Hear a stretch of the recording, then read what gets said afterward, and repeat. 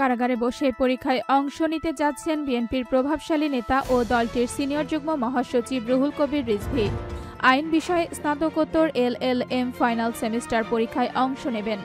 পরীক্ষায় অংশ নেওয়ার জন্য আবেদন করার পর ঢাকার মেট্রোপলিটন ম্যাজিস্ট্রেট রাজেশ চৌধুরী কারাবিধি অনুযায়ী তার পরীক্ষা নেওয়ার নির্দেশ দিয়েছেন কারা কর্তৃপক্ষ সহ সংশ্লিষ্ট বিশ্ববিদ্যালয়কে। রাজধানীর নয়াপল্টনে বিএনপির কেন্দ্রীয় কার্যালয়ের সামনে সংঘর্ষের ঘটনায় এবং বিএনপির কেন্দ্রীয় কার্যালয়ের মধ্য থেকে বিস্ফোরক উদ্ধারের ঘটনায় দায়ের করা মামলায় কারাগারে রয়েছেন রিজভি।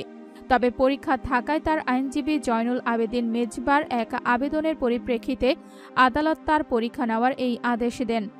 রিজভি ঢাকা আইনজীবী সমিতির সদস্য। আইন বিষয়ে উচ্চতর ডিগ্রি অর্জনের জন্য তিনি রাজধানীর প্রাইম ইউনিভার্সিটিতে এল এল এম এ অধ্যয়নরত। ফাইনাল সেমিস্টার অনুষ্ঠিত হবে। তিনি ওই পরীক্ষায় অংশ নিতে ইচ্ছুক।